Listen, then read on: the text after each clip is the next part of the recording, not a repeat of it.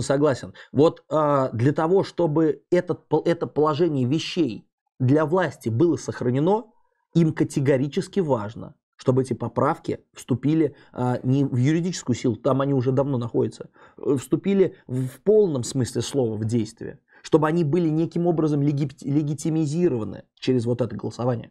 Поэтому, конечно, безусловно, в широком смысле слова для нас это голосование не, не имеет каких-то глобальных задач и результатов. Однако это, этот процесс наглядно показывает каждому участнику нашего сообщества, что нужно проявить активность. Она понятным языком объясняет, почему мы должны активизироваться. Потому что Путин дальше значит, э, э, будет находиться у власти. Потому что есть ограничения в законе, а он на них плюет. Потому что э, это в конечном итоге лишит нас наших гражданских прав. Вот это все граждане понимают сейчас очень отчетливо.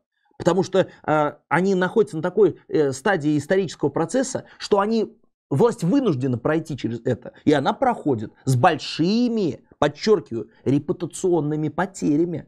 Вы же понимаете, что э, узурпация власти через вот эти э, путинские поправки огромному количеству людей щелкнула по носу.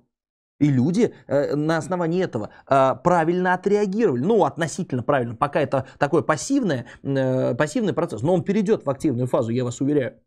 Поэтому, да, в полном смысле слова, да, борьба э, истинная, да, за э, процессы, э, там, которые повлияют и изменят наше будущее, они впереди. Но это этап, который мы должны пройти. И выйти мы должны из него сильнее. Сегодня, э, э, нет, не сегодня, вчера Блумберг опубликовал э, свои э, значит, опросы, по которым Путина поддерживает 26% россиян.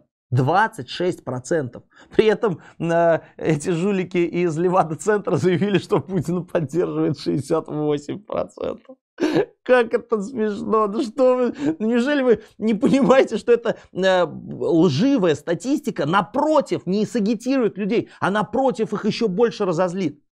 То есть она поможет вот этой выкристаллизованию э, взглядов.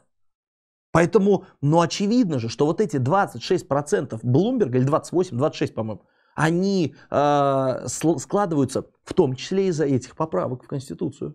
В том числе э, дополнительно к этому вот эти неумелые, э, жадные и недальновидные решения касательно коронавирусной вот этой опасности. Поэтому, да, наверное, мы не должны э, ставить, э, значит, вот эту борьбу за поправку в Конституцию главной целью всего оппозиционного, э, значит, сообщества в нашей стране. Но важный этап, важная ступень, безусловно. То есть в тот момент, когда по всей нашей стране будут многомиллионные митинги, конечно, люди будут призывать власть в отставку не из-за этих поправок, но в том числе из-за них. То есть это огромный пласт проблем, одна из которых вот это наплевательское отношение э, на наши с вами конституционные права.